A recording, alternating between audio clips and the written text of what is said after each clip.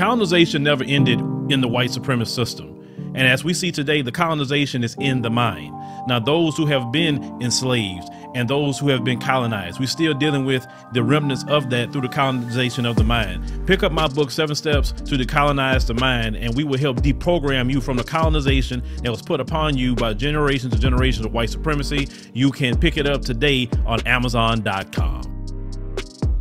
Hello fam, welcome back to the African Diaspora News. I am Wongel Zelalem and today we're talking about Facebook, aka Meta, getting sued in Kenya for exploitation and union busting. Let me show you this clip, we'll come back and discuss. A lawsuit was filed in Kenya on Tuesday against Facebook owner Meta Platforms, alleging that poor working conditions for contracted content moderators violate the Kenyan constitution. The petition, also against Meta's local outsourcing company Sama, was filed by a former moderator. It alleges moderators in Kenya have been subjected to conditions including irregular pay, inadequate mental health support, union busting, and violations of their privacy and dignity. A Meta spokesperson said the company takes our responsibility to the people who review content for Meta seriously and require our partners to provide industry leading pay, benefits, and support. The spokesperson also said that content reviewers are encouraged to raise issues when they become aware of them, and that independent audits are regularly conducted to ensure our partners meet the high standards we expect.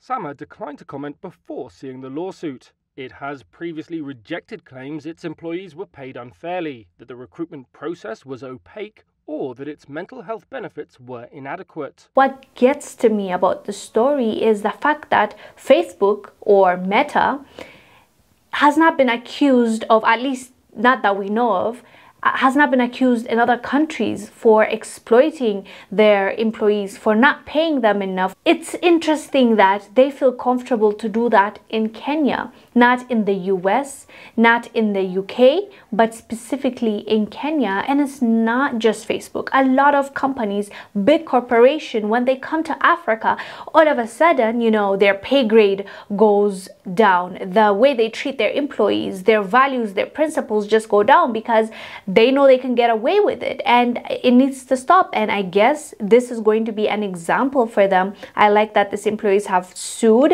meta and they're clearly going to get a different and a better option in the future. I'm sure their contracts are going to look different and their working environment is definitely going to improve in my opinion because i've seen these companies huge companies what their offices looks like in the us um, in europe. They make sure that their employees get the best experience but when it comes to africa it's like they rent an office space and they're like go work 24 7 and i'll pay you this much. Because i know another job will not pay you as much. And at the end of the day we have to pay someone what they deserve like what work what kind of work did they put in. Did they work hard?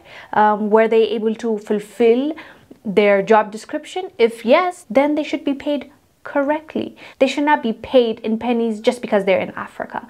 Anyways, fam, let us know down below what your thoughts are about Meta getting sued in Kenya. I am Wongel Zelalem. I'll see you on the next one.